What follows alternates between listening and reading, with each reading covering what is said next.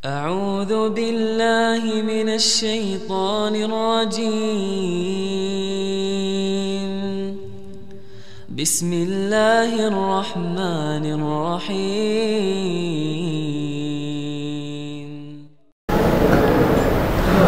السلام عليكم ورحمة الله وبركاته.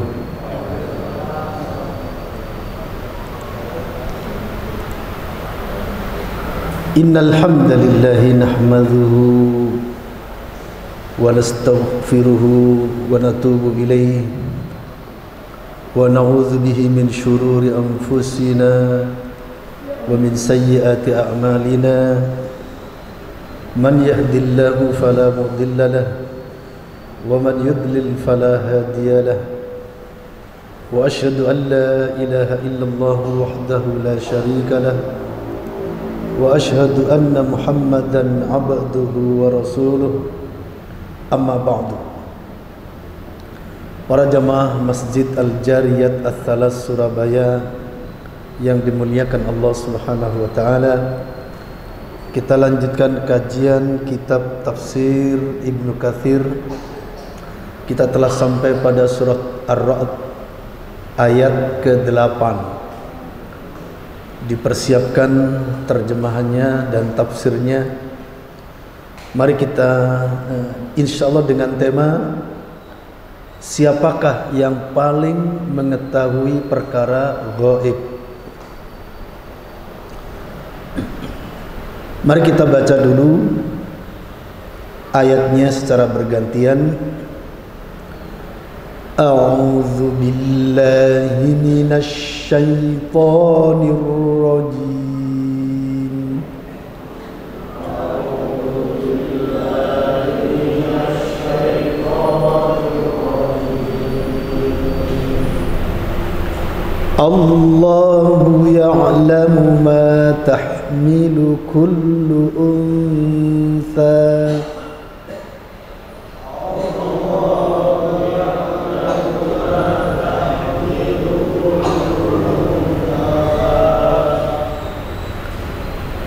وما تغيض الأرحام وما تزداد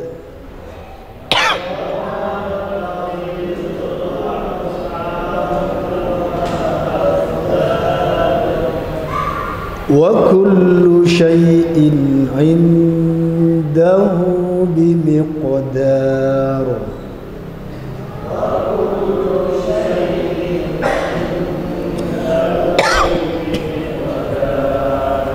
Artinya Allah mengetahui apa yang dikandung oleh setiap perempuan, apa yang kurang sempurna dan apa yang bertambah dalam hati dan segala sesuatu agar kurang di sisinya. Allah Subhanahu wa taala berfirman Allahu ya'lamu ma tahmilu kullu untha Allah mengetahui apa yang dikandung oleh setiap perempuan wa ma taghidul arhamu wa ma tazdad dan kandungan rahim yang kurang sempurna dan yang bertambah. Wa kullu syai'in indahu bimiqdar. Dan segala sesuatu pada sisinya ada ukurannya. Subhanallah para jemaah ternyata kejadian-kejadian yang menimpa orang-orang yang hamil dan dengan berbeda-beda dan melahirkan pun juga beda-beda ini dia ayatnya ini dia ayatnya sudah diketahui oleh Allah sesuai dengan takdirnya. Di mana kalau kita lihat sejarah orang yang hamil itu ada yang hamil tapi tidak sempurna. Nah di situ. Ada saja sakit-sakitan kemudian serba menyulitkan begitu. Terus tiba-tiba lahirnya lahir prematur misalnya ya bayi yang lahir misalnya ada yang prematur, ada yang sempurna 9 bulan. Bahkan ada yang bertambah. Sam-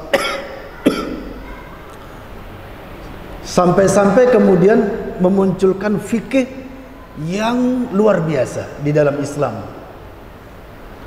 Sampai-sampai ada yang apa namanya dari kehamilan dan kelahiran ini ada bayi yang lahirnya tujuh bulan sudah lahir. Ada yang sembilan bulan ada yang bahkan sampai hampir mencapai empat tahun.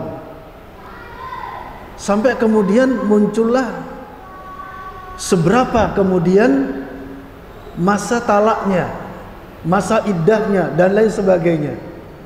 Jadi memunculkan fikih yang luar biasa dari urusan kehamilan ini. Urusan kandungan dan urusan kehamilan. Bagaimana bercerai tatkala hamil atau sesudah melahirkan misalnya.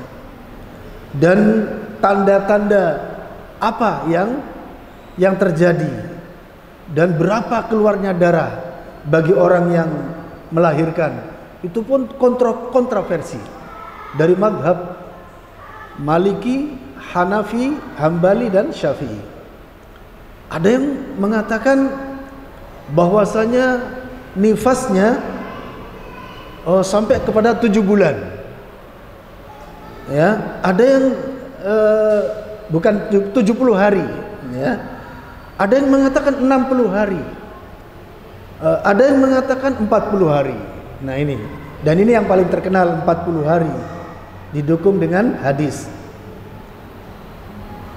Kemudian adapun masa sedikitnya nifas memang tidak ada tidak ada perbedaan ya, tidak ada perbedaan.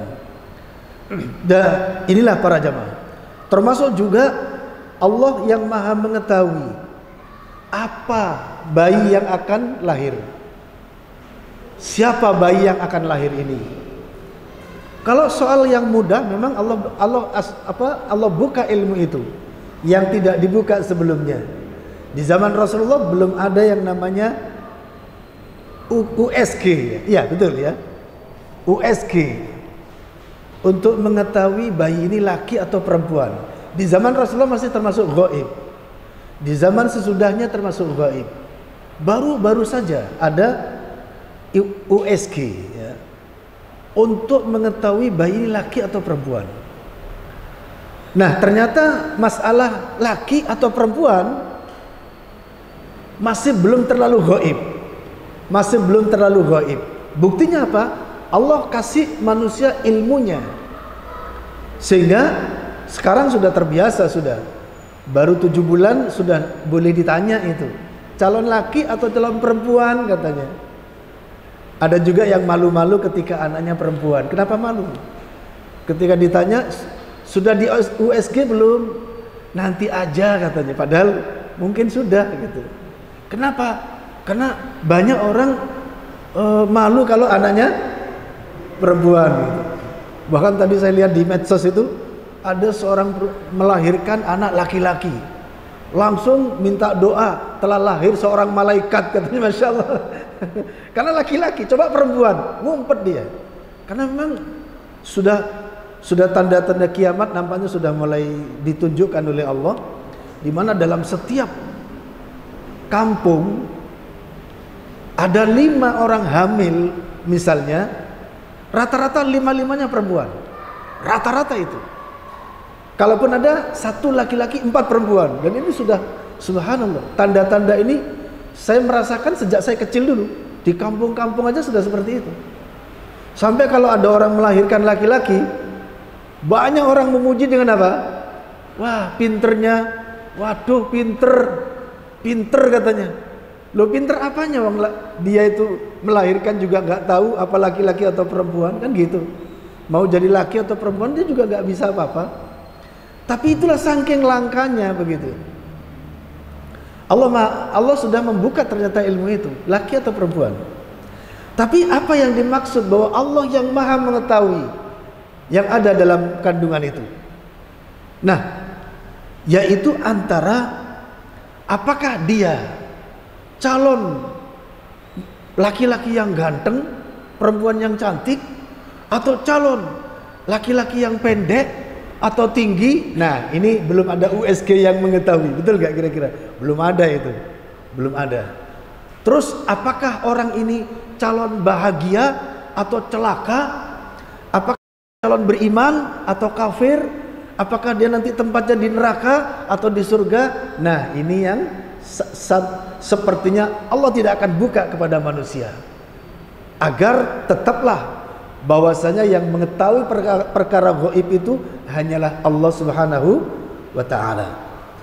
Bahwasanya memang perkara gaib itu hanya Allah yang Maha tahu, kemudian dan siapa yang diizinkan untuk tahu.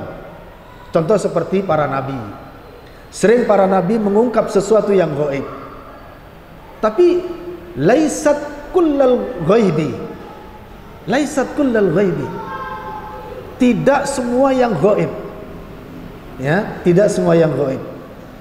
Seperti di Al-Qur'an dikatakan bahwa nabi, Nabi Muhammad tentunya hanya diajari rasul itu tertentu saja. Tidak semua rasul. Yaitu para nabi dan rasul yang engkau ketahui dan yang tidak engkau ketahui. Nah ini kata Allah Subhanahu wa taala. Bahwa di sana ada rasul-rasul yang nabi pun tidak tahu siapa mereka. Ya, dan nabi-nabi yang telah ditunjukkan dalam Al-Qur'an termasuk para rasul. Dalil tentang bahwasanya tidak ada yang mengetahui perkara yang gaib kecuali Allah Subhanahu wa taala ada pada surah An-Naml surah ke-27 ayat 65. Silakan dibuka yang ada Qur'annya.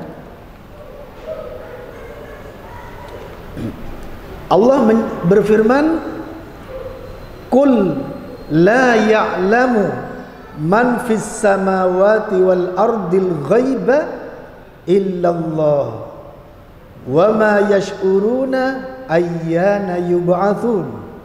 Artinya,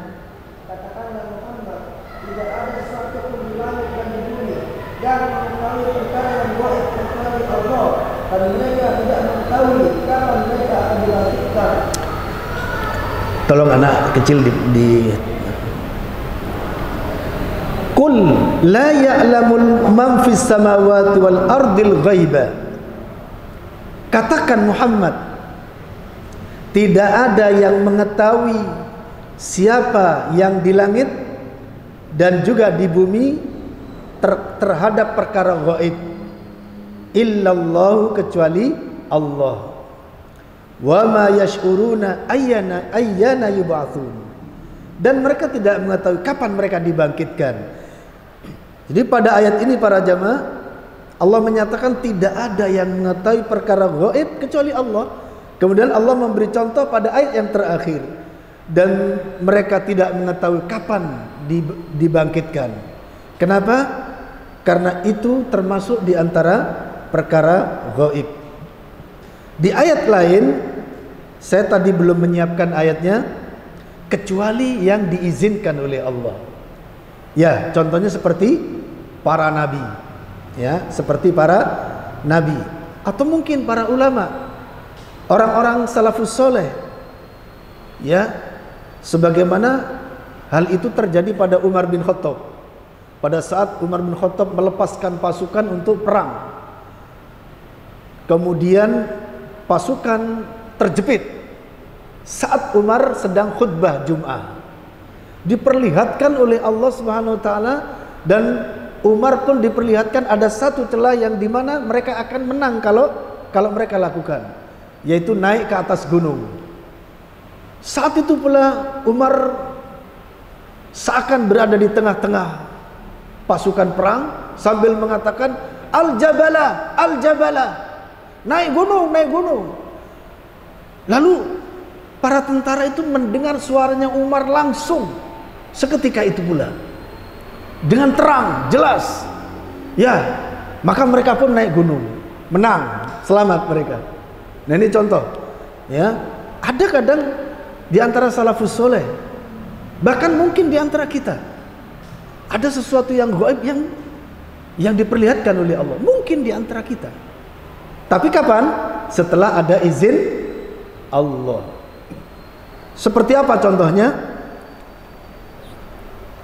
Ketika Allah akan memberikan hikmah sesuatu yang terjadi misalnya. Dan terkadang para ulama juga sering terjadi hal itu. Tapi bukan karena dia membaca mantra kemudian gong geng apa sekalong sekarang bawa langgeng misalnya ya. Langsung keluar asap. Nah ini kalau itu mak lampir.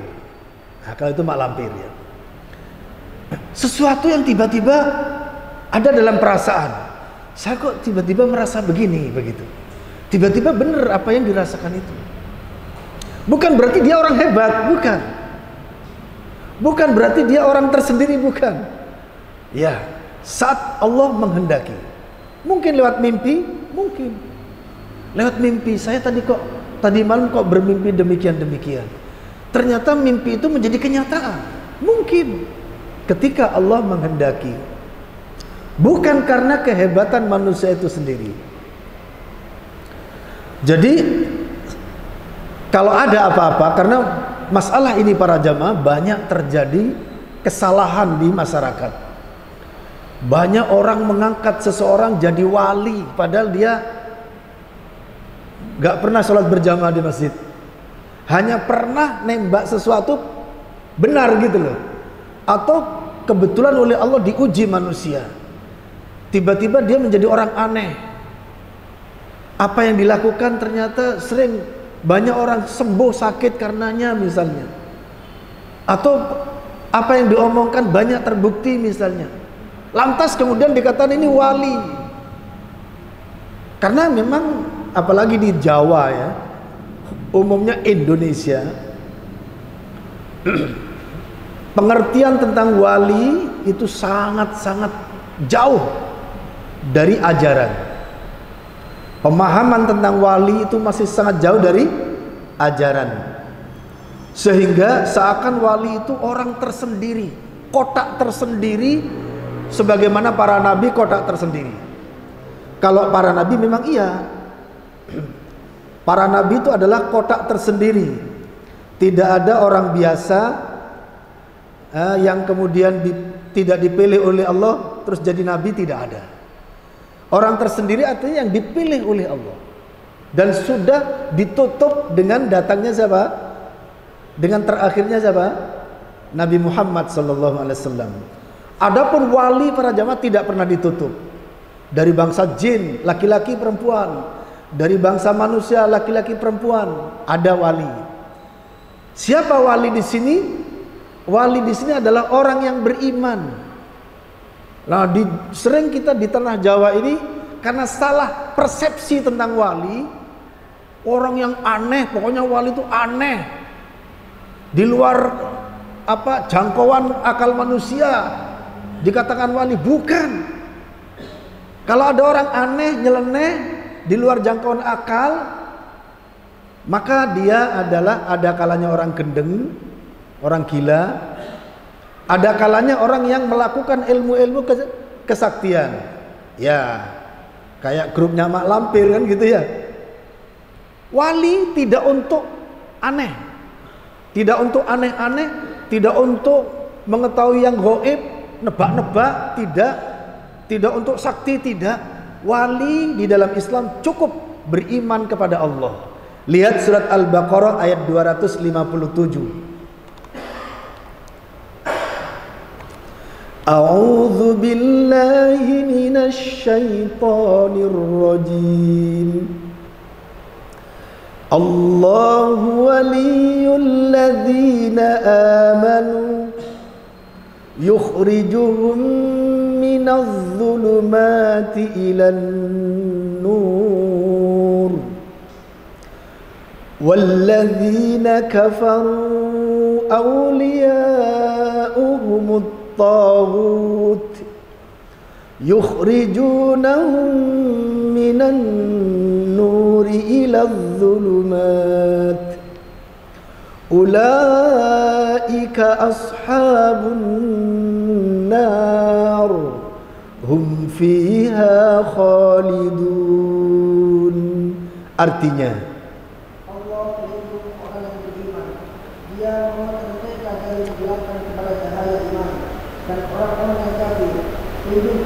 adalah syaitan. Yang mereka dari cahaya kepada kegelapan. Mereka adalah penghuni neraka. Mereka kekal di dalamnya. Lihat ayat ini para jemaah surah Al-Baqarah ayat 257. Allahu waliyul ladzina amanu. Allah adalah pelindungnya, walinya. Wali itu artinya pelindung yang dekat, yang menyayangi, yang memberikan pertolongan itu artinya wali. Siapa wali Allah? Alladzina amanu, orang-orang yang beriman. Allah keluarkan mereka minaz zulumati ila nur. Dari kegelapan menuju cahaya, kegelapan kekafiran, ke- kegelapan kejahilian menuju ke cahaya iman. Walladzina kafaru dan orang-orang kafir auliya'uhumut tauhid. Wali-wali mereka adalah setan. Tauhid artinya setan yukhrijunahum minan nuri ila dhulumat yang mengeluarkan mereka dari cahaya menuju kepada kegelapan kalau wali Allah dari kegelapan kafir jahiliyah menuju Islam sedangkan walinya setan dari cahaya iman Islam menuju kafir. Nah ini. Ulaika ashabun nar. Mereka itulah penghuni-penghuni neraka. Wali-wali syaitan. Hum fiha khalidun. Mereka kekal di dalamnya. Selama-lamanya. Lihat para jamaah pada ayat ini ternyata wali itu ada dua jenisnya. Ya wali itu ada dua jenisnya ada wali jenis waliullah ya ini ada wali jenis waliullah Siapa mereka? Orang-orang yang beriman. Orang-orang yang beriman.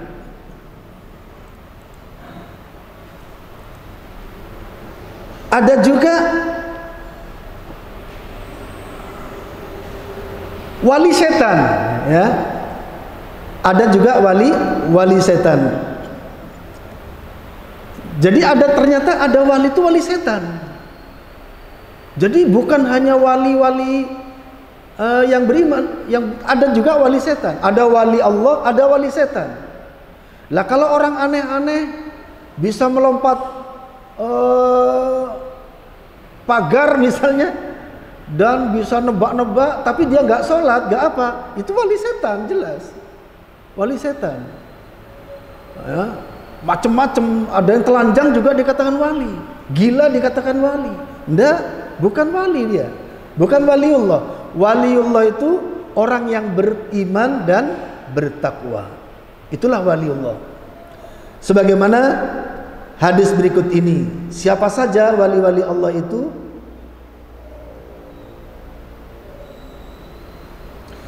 Ada pada ayat berikut ini. Wa kanu yattaqun. Surat apa? Surat Yunus Ala inna awliya Allahi Nah lihat ayat berikut ini para jamaah Inna awliya Allahi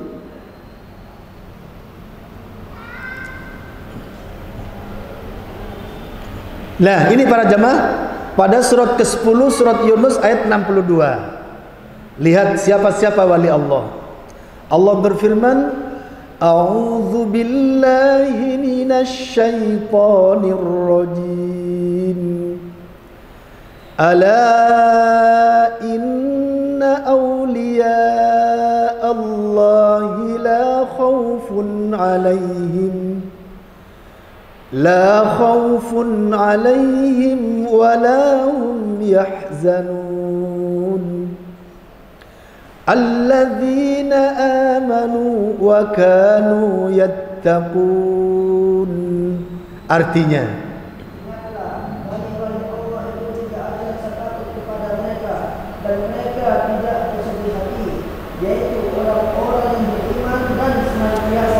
Lihat ayat ini para jamaah, siapa wali Allah?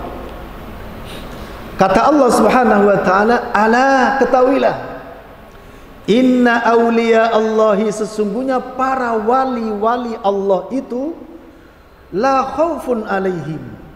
Tidak ada rasa takut atas mereka wala hum yahzanun dan tidak pula mereka bersedih hati. Siapa mereka kata Allah? Allah sendiri yang menerangkan ini. Ya, bisa dilihat ya. Bisa dilihat semuanya, lihat semuanya. Biar gak salah perspeksi, perspek apa namanya? persepsi. Ya. Kata Allah apa? Alladzina amanu yaitu orang-orang yang beriman wa kanu yattaqun dan mereka bertakwa.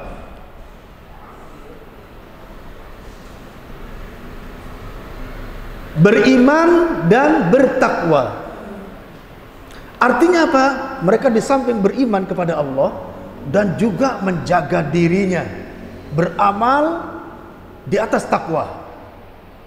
Segala sepak terjangnya di atas rasa takut kepada Allah. Iman dan bertakwa artinya orang yang beriman dan istiqomah di atas imannya.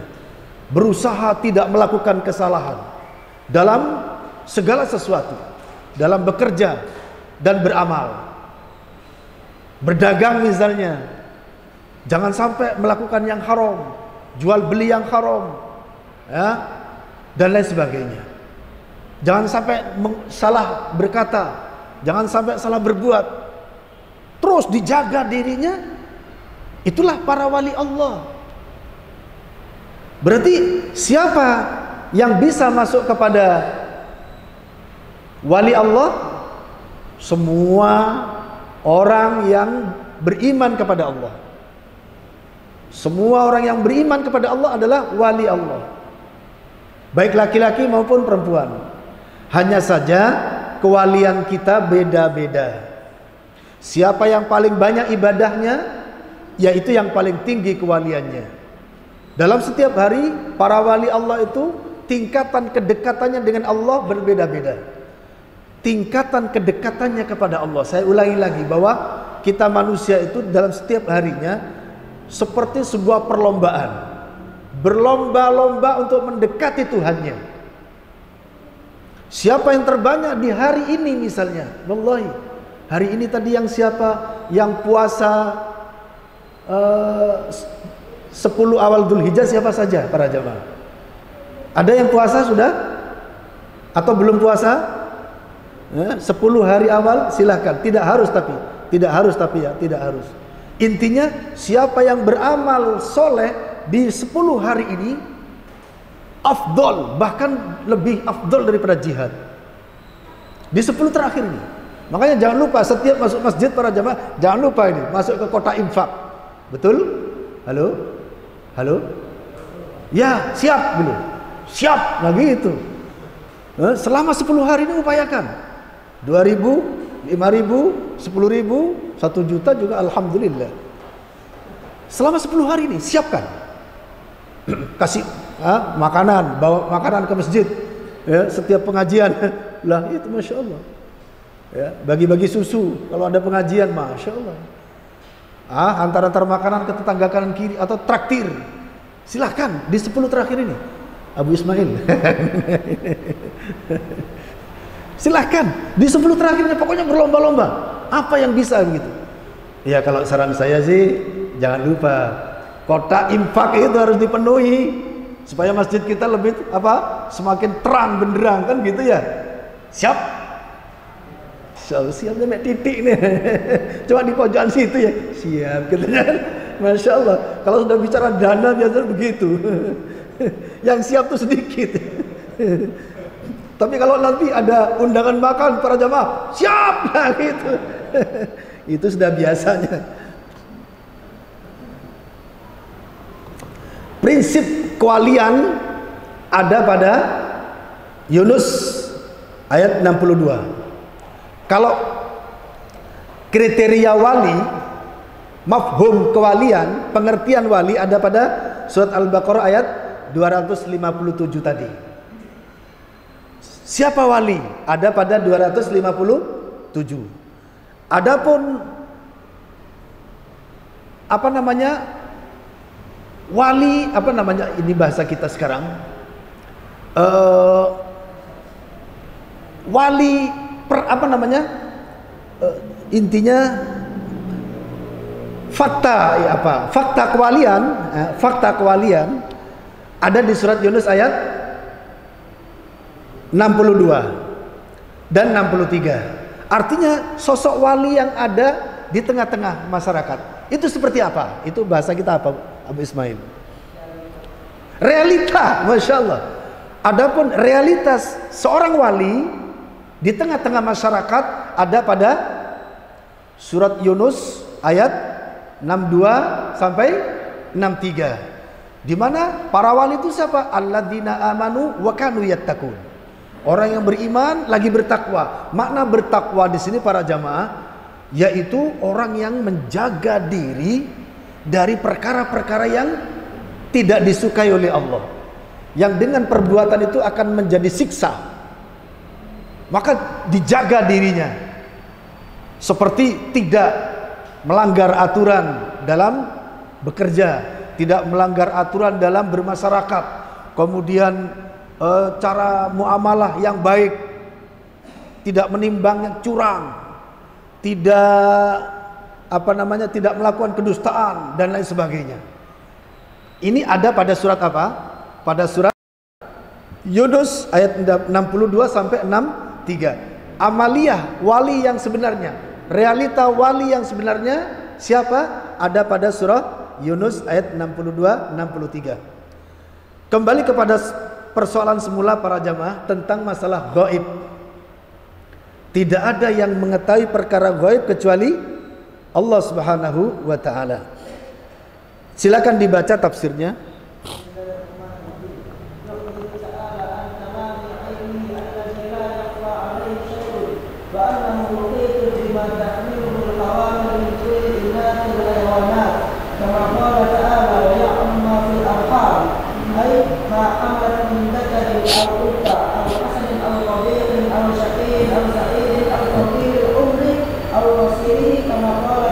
Taib. Yukhbiru ta'ala Allah ta'ala memberitakan pada ayat ini antamami ilmihi. Akan kesempurnaan ilmu Allah. Alladzi la yakhfa alaihi syai'un. Yang mana tidak ada yang tersembunyi atasnya siapa pun. Tidak ada tersembunyi wa annahu muhitun bima tahmiluhul hawamilu. Dan al ilmu Allah meliputi terhadap apa saja yang terkandung pada orang yang hamil. Min kulli inathil hayawanat. Dari segala bentuk perempuan-perempuan hewan-hewan ini. Allah yang maha tahu semuanya. Kama qala ta'ala wa ya'lamu ma fil arham dan ia Allah mengetahui apa yang ada dalam rahim. Luqman ayat 34. Ai ma hamalat min dzakarin au untha. Apa yang terkandung, apakah laki atau perempuan? Ini sekarang sudah tidak goib lagi. Sekarang sudah tidak goib lagi. Allah menjadikan seperti itu. Karena memang segala sesuatu itu seperti di ayat yang kemarin ya. Segala sesuatu sudah disediakan oleh Allah di muka bumi ini. Ilmu yang belum yang sudah berjalan dan ilmu-ilmu yang baru akan dikeluarkan oleh Allah. Semakin umur dunia semakin tua, nanti semakin canggih ilmu manusia. Semakin canggih ilmu manusia.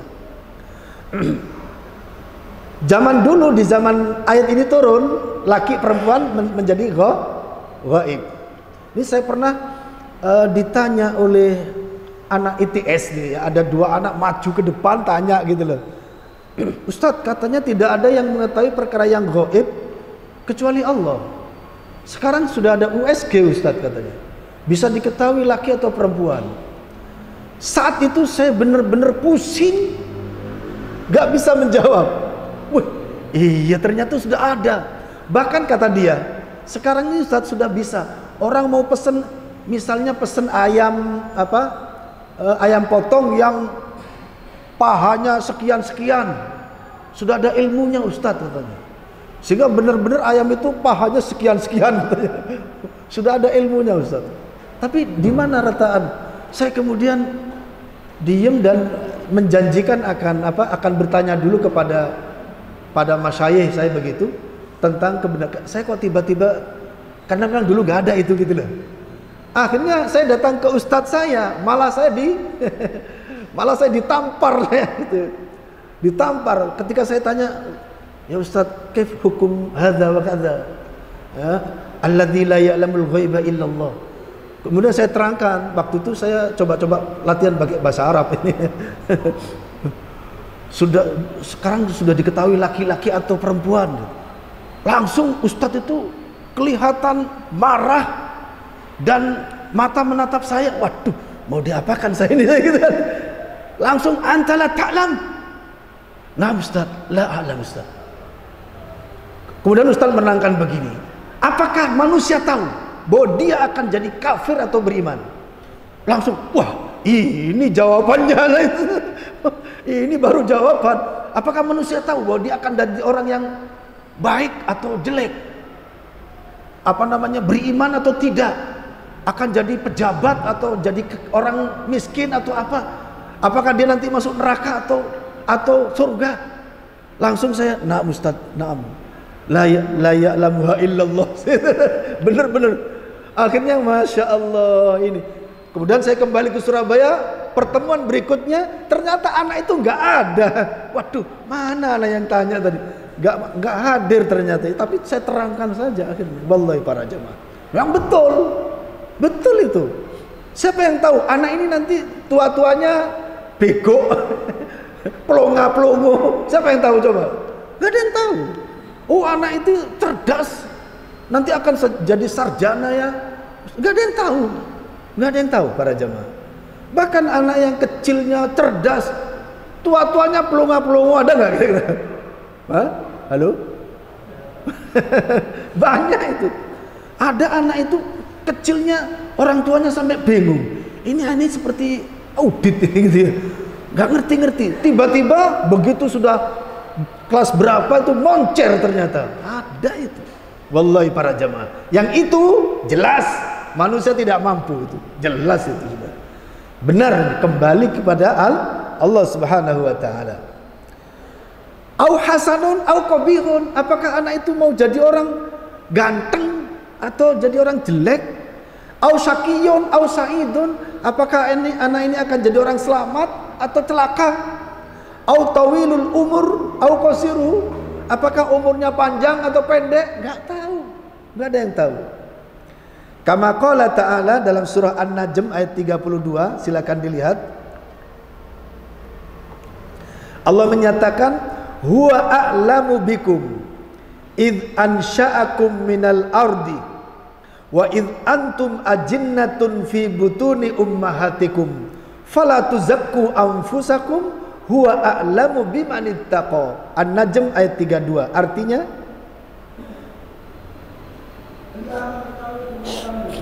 sejak dia menjadikan kamu dari tanah. Lalu ketika kamu masih jalan dalam perut ibumu, maka janganlah kamu menganggap dirimu suci. Dia mengetahui tentang orang yang dekat. Masya Allah para jamaah. Mari, mari kita lihat ayat ini. Kata Allah subhanahu wa ta'ala huwa a'lamu bikum. Dialah yang paling mengetahui kamu. Siapa kamu? Siapa saya? Siapa anda di hadapan Allah? Allah maha mengetahui. Id ansha'akum minal ardi. Ketika Allah menciptakan kalian dari tanah Allah sudah tahu. Bahkan takdir kita para jamaah takdir masing-masing kita ini sudah dicatat kok. Sejak 50 ribu tahun sebelum Allah menciptakan langit dan bumi. Bahkan wa id antum ajinnatun. Dan ketika kamu masih menjadi janin. Janin. Ya antara eh, kandungan pertama kedua ketiga. Yang ketiganya itu sudah jadi janin. Janin itu bahasa Arab para jamaah. Saat itulah Allah berfirman kepada malaikat khusus malaikat rahim Ada khusus malaikat rahim para jamaah. Tapi tempatnya bukan di dalam perut, cuman dia mengetahui bayi yang ada dalam rahim itu. Jadi ketika bayi yang ada dalam rahim ini belum dilahirkan, siapa penguasanya? Malak malakul arham para jamaah. Allah menugaskan malaikat rahim. Oleh malaikat rahim dihubungkan dengan plasentanya. Kemudian dia minum dari air apa namanya? Eh, dari air air darah head yang tidak dikeluarkan. Siapa pun Anda, siapa pun saya, dulunya minum air head. Betul? Makanya jangan merasa sombong. Itu memang di- disetting oleh Allah supaya manusia itu nggak ada yang sombong. Siapa pun kamu, dulu dari air. Ah begitu. Kenapa air head itu tidak keluar pada saat hamil para jamaah? Selama 9 bulan tidak dikeluarkan karena dijadikan makanan bayi. Wallahi para jamaah, siapa pun Anda, jangan merasa sombong. Hah? 9 bulan nyomber apa? Hah? Air head. Allah ya. Jadi manusia itu sudah dipelonco sejak lahir, eh sejak masih dalam kandungan oleh Allah. Hah? Ketika kita belajar masalah darah head itu, nanti akan ketemu itu. Kenapa 9 bulan tidak dilahirkan? Jadi manusia sejak dalam kandungan itu sudah dipelonco. Bahkan bukan bukan hanya itu. Sejak sebelum Allah menciptakan langit dan bumi, kurang 50 ribu tahun lamanya, manusia itu sudah dipelonco oleh Allah. Oh ini jadi iman, oh ini jadi kafir, non muslim. Sudah ada. Dan realitanya ketika pada bulan ketiga waktu dalam kandungan. Saat apa bulan keberapa itu? Saat ditulis itu ya? Ya ketiganya. Hah? keempat. Tadinya man, apa? Darah eh, mani darah kemudian eh, ya keempat ya. Nah saat itu manusia sudah dipelonco oleh Allah. Ya? Jadi apa? Jadi apa diminumi dengan di, dikasih makan dengan darah haid itu sudah pemeloncoan Allah pada manusia. Ya hikmahnya mungkin supaya manusia itu nggak ada yang apa, nggak ada yang merasa gitu loh. Siapa pun, pokoknya para jamaah kita hamba Allah itu tidak ada yang kita bisa kita bisa banggakan. Ya, makanya kita teruskan ayat ini. Mari kita teruskan surat An-Najm ayat 32 dan tatkala kalian masih dalam janin fi butuni ummahatikum di perut ibu-ibu kalian. Apa kata Allah? Ini pesan Allah penting sekali. Setelah Allah menjelaskan bahwa kita ini berada di kandungan demikian demikian maka Allah pesan kita pada ayat yang terakhir fala tuzakku anfusakum. Maka janganlah kalian menganggap suci diri-diri kalian Aku paling baik, aku paling pinter, aku paling wah paling itu. Kata paling tidak cocok untuk manusia. Kata paling tidak cocok untuk saya. Untuk siapa pun. Aku paling pinter tidak cocok. Aku paling kaya tidak cocok. Aku paling ganteng apalagi paling ganteng wis tambah nggak cocok ya. Aku paling bisa. Wah, siapa? Tidak bisa para jamaah. Kata paling tidak ada yang cocok untuk manusia. Tidak ada yang cocok. Kenapa? Karena semua yang diberikan kepada kita dari Allah Subhanahu wa taala. Min fadli rabbi, dari keutamaan Allah. Kalau kemudian di antara kita ada yang dijadikan orang pinter, bersyukurlah. Bersyukurlah. Gak dijadikan orang goblok, kan begitu. Tidak semua manusia ada yang pinter semua, tidak manusia yang goblok semua, tidak semuanya. Semua itu telah ditentukan oleh Allah Subhanahu wa taala. Maka kata Allah apa pesan ini? Fala tuzakku anfusakum. Janganlah kalian menganggap diri kalian suci. Lebih baik, lebih pinter, lebih ini, lebih segala-galanya. Jangan. Huwa a'lamu bimanittaqa. Dialah yang paling tahu siapa yang paling bertakwa di antara kalian. Sementara untuk menjadi orang paling terbaik di hadapan Allah, syaratnya apa di antaranya? Yaitu harus bertakwa. Lihat pada surat berikut ini waqaba ila syu'uban wa qabaila. Nah, ini surat Al-Hujurat ayat berapa? Pada surat 49 surat Al-Hujurat ayat 13 Allah menyatakan Ya ayyuhan nas inna khalaqnakum min dzakarin wa untha wa ja'alnakum syu'uban wa qabaila lita'arafu. Lalu apa kata Allah? Inna akramakum indallahi atqakum. Innallaha alimun khabir. Artinya Wahai manusia, sungguh kami telah menciptakan kamu dari seorang laki-laki dan seorang perempuan. Kemudian kami menjadikan kamu berbangsa-bangsa dan bersuku-suku agar kamu saling mengenal. Sungguh, yang paling mulia di antara kamu di sisi Allah ialah orang yang paling bertakwa. Lihat pada akhir ayat ini. Inna akramakum indallahi atqakum kata Allah. Sesungguhnya yang paling mulia di antara kalian di sisi Allah yang paling bertakwa. Yang paling bertakwa. Siapa pun kalian begitu. Makanya saya sangat geram para jamaah kalau ada orang keturunan Yaman datang ke Jawa langsung ngaku Habib. Saya paling benci. Keturunan Persia mancung hidungnya eh, datang ke Indonesia ngaku aku Habib. Di Islam tuh tidak ada dalam kamus Islam tidak ada Habib tuh nggak ada para jamaah. Di negeri Arab itu keturunan Rasulullah ada berapa? Di, di Saudi Arabia. Halo, berapa keturunan Rasulullah kira-kira di Saudi Arabia? Hah? Jutaan. Tapi tidak ada yang manggil Habib atau Sripeh. Sripeh. Di Indonesia ini Arab sedikit langsung Habib, Sripeh. Gak ada dalam Islam dalam kamus Islam Habib.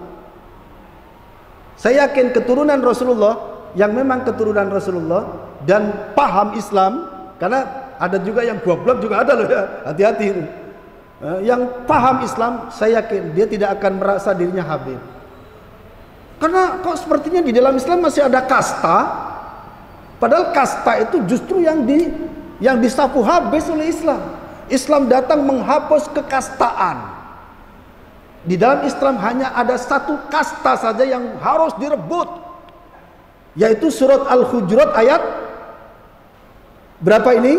13. Apa itu? Inna akramakum indallahi atqakum. Sesungguhnya yang paling mulia di antara kalian di sisi Allah yang paling bertakwa. Siapa yang paling bertakwa, dialah yang akan mendapatkan mahkota kebesaran di hadapan Allah Subhanahu wa taala. Keturunan siapa pun itu. Jangan bangga jadi jadi orang Jawa juga jangan bangga apalagi jadi orang Arab juga jangan bangga. Ya, siapa pun yang paling bertakwa, dialah yang paling apa? Yang paling baik di sisi Allah Subhanahu wa taala. Kemudian para jamaah langsung saja kepada hadis ini coba dibaca hadisnya.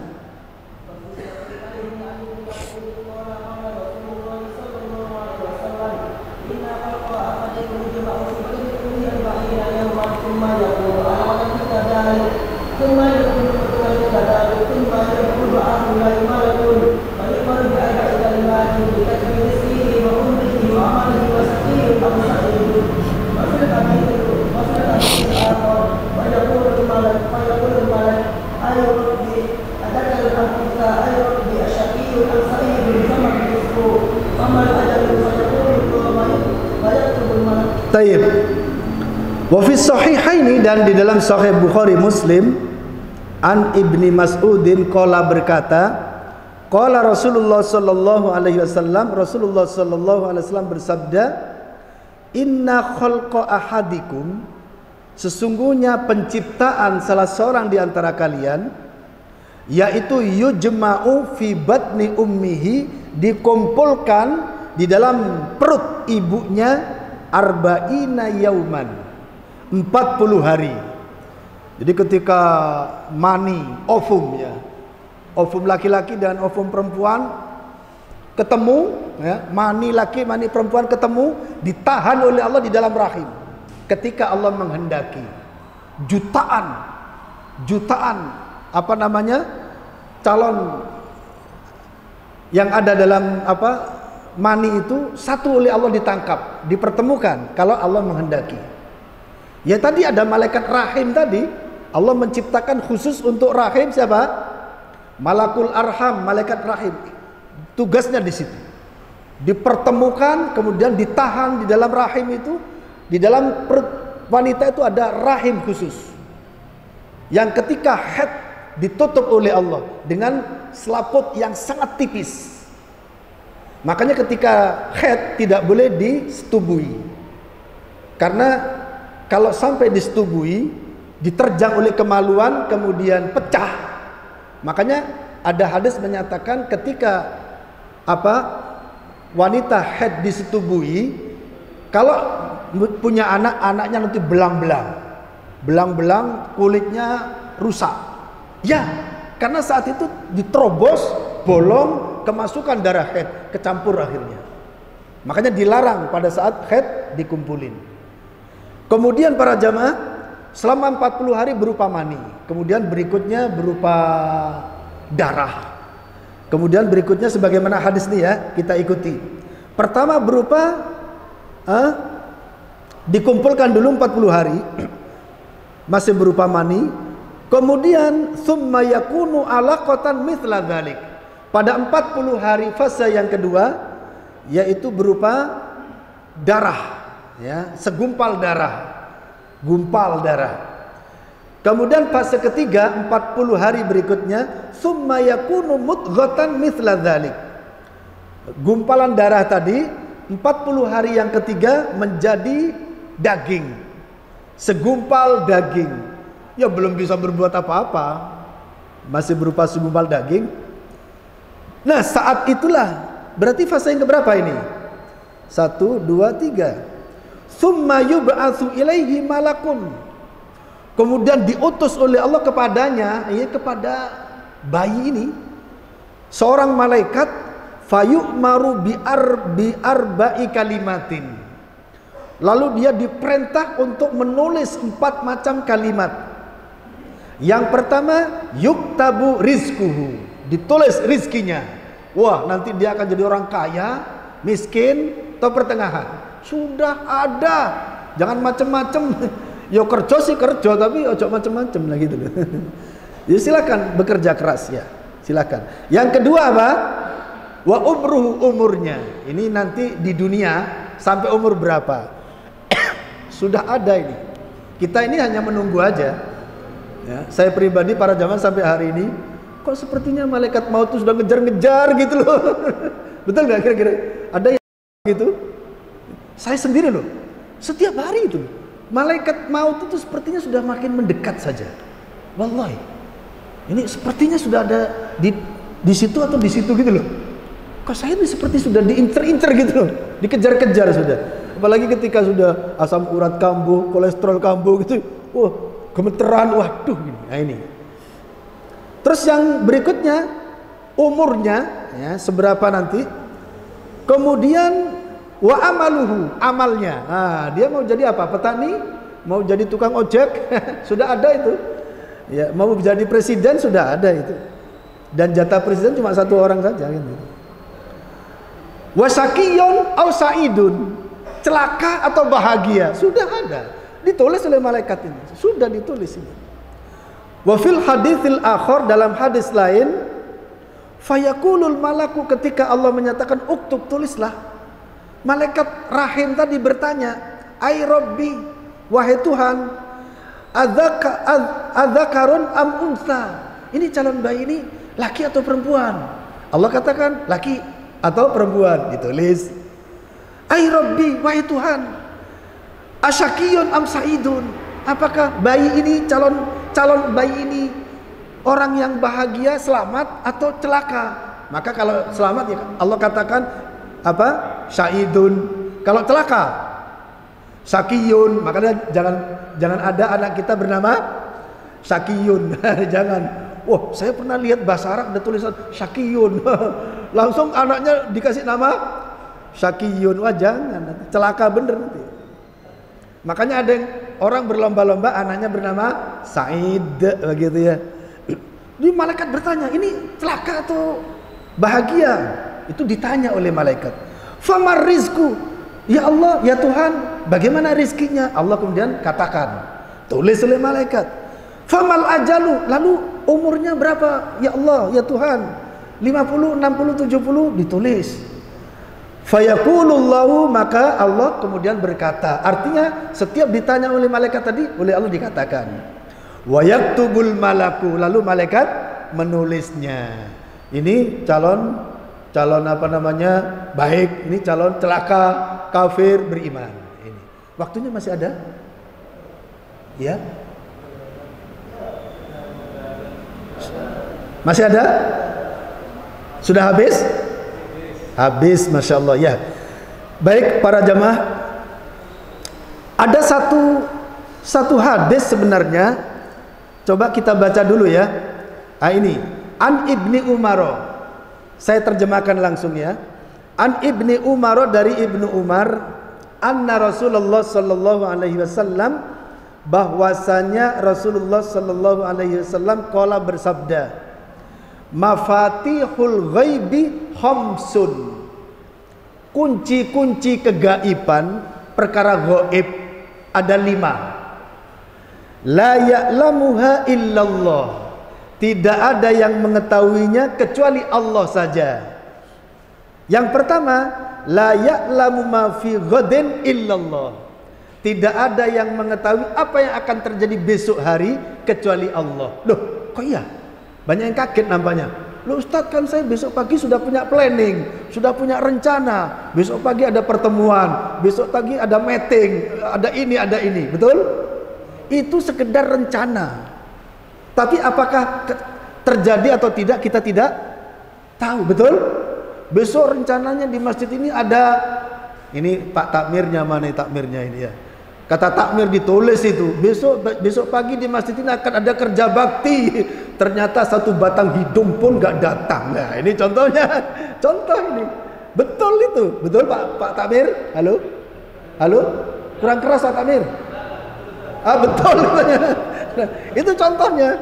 Jadi memang betul. Kalaupun besok gini gini gini itu rencana pada rencana besok begini. Tapi yang kejadian sebenarnya tidak yang tidak ada yang tahu kecuali Allah. Ini. Kemudian yang kedua, wa ma ya'lamu ma taghidul arhamu illallah. Tidak ada yang tahu apa yang terjadi di dalam kandungan kecuali Allah. Kalaupun ada yang tahu sedikit saja. Wala ya'lamu yang ketiga, mata ya'til mataru eh, ahadun illallah. Dan tidak ada yang tahu kapan hujan itu datang. Seorang pun tidak ada yang tahu kecuali Allah. Hujan kapan turun tidak ada yang tahu kecuali Allah. Makanya badan meteorologi itu benar sekedar perkiraan. Namanya perkiraan cua cuaca. Yang tidak boleh kalau besok pagi pasti hujan. Tanggal 25 pasti hujan. Ini yang tidak boleh. Tidak boleh. Ya, kenapa tidak ada yang tahu kecuali Allah? Pernah nggak para jamaah Langit itu mendung peteng dedet, tapi nggak hujan, nggak ada hujan. Pernah? Pernah. Saya sering sering itu zaman dulu. Wah perkiraannya sudah, pokoknya sudah disiapin sudah. Tapi ternyata nggak hujan. Ini pernah terjadi. Yang berikutnya berapa ini? Yang ke lima ya. Wala ya'lamu mata taqumus sa'atu illallah. Tidak ada yang tahu kapan hari kiamat terjadi kecuali Allah. Rawahul Bukhari wa Muslim. Eh, Rawahul Bukhari. Masya Allah para jamaah, kapan hari kiamat tidak ada yang tahu. Kita hanya dikasih tahu tanda-tandanya saja. Kita hanya dikasih tahu apa? Tanda-tandanya. Adapun tanda-tandanya satu persatu sudah ditunjukkan, kecuali yang belum datang. Seperti Dajjal belum datang. Tapi anak buah Dajjal setiap hari kita ini seperti ketakutan dengan dajjal ya. Ya, pengaruh dajjal sudah sejak para nabi dulu. Terus para jamaah, uh, saya pernah baca kitab Mujarobat. Nah ini Mujarobat. Ya, kitab Mujarobat itu disukai oleh orang-orang kampung ya. ya. Di situ ada perkiraan bahwasanya hari kiamat nanti akan jatuh pada Jumat Legi gitu. Wallahi. Saya kemudian mikir-mikir itu. Loh, saya dulu suka baca apa? Baca kitab mujarobat itu. Di situ ada macam-macam selawat, macam-macam tafsir mimpi, tafsir kedutaan, termasuk ilmu tapak liman, ceketi. Kul husum sang kul hugeni ada di situ. pernah pernah dengar kul husum sang kul hugeni gitu ya. Terus saya kemudian berpikir, hari kiamat kok jadi terjadi Jumat lagi? Loh, apa iya? Padahal di Mekah sana nggak ada Jumat lagi. Yang ada di mana? Di Jawa yang ada. Wallahi para jamaah. Lima-limanya kita serahkan kepada siapa? Kepada Allah Subhanahu wa taala. Semoga kita termasuk di antara wali Allah. Amin ya rabbal alamin. Kita tutup dengan doa kafaratul majlis. Subhanakallahumma wa bihamdika asyhadu an la ilaha illa anta astaghfiruka wa atubu ilaik assalamu alaikum warahmatullahi wabarakatuh أعوذ بالله من الشيطان الرجيم بسم الله الرحمن الرحيم.